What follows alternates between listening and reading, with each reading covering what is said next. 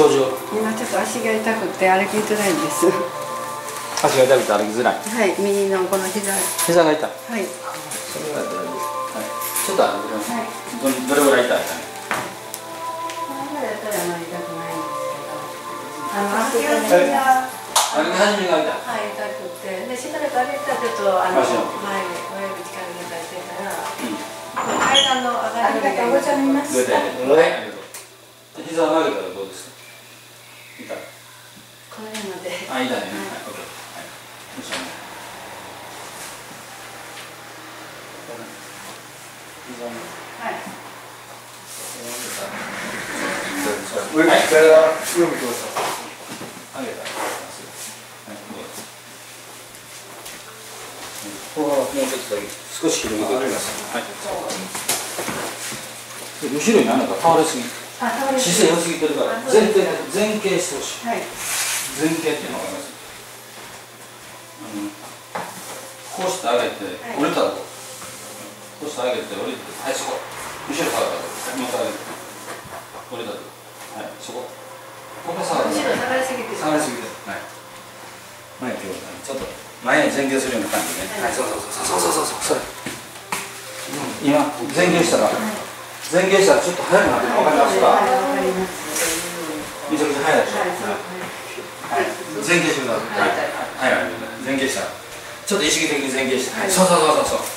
それで、それで、はい、あと二往復だけ。はい。はい前傾してください。はいうそうそうそうそうそ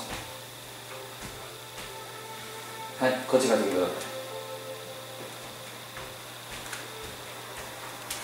右肘が痛かったね。はい。はいこっち見て、ちょっとしゃがんでくれます？はいあだいぶここら辺ぐらいまでいけますいけるようになったでしょ、ちょっとね。はい。もうちょっと、はい。もうちょっとある。あと三往復。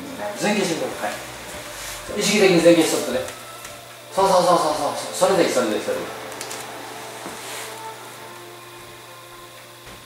そうそうそうそうそう。はい。はい、あと二往復。すごい指に力かかってるでしょ。はいはい。いつもあなたそんなに力かかってない。歩いてる時。はいそうでしょ？そうですね後ろがそうなんか姿勢よくしないといけない思ってうん。後後ろでなんかそうそう、後ろ倒れてるからね。うんはい、あと一応。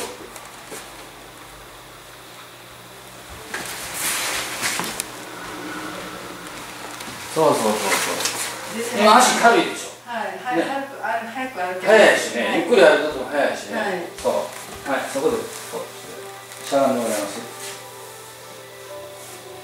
だいぶお尻下行くようになりましたね。はいね、そうですねわかります？はいわかりますまだもっと歩いたらもっともっと下があって。そうなんですかもうちょっとだけ歩いてください。もうちょっと、はい、前傾してください。はい、少し前傾。はい。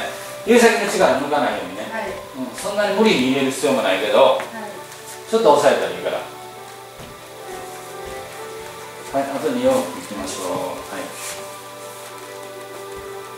その膝のために水玉をしてはるわけ。あのいやあの血圧がねものすごく高かって、うん。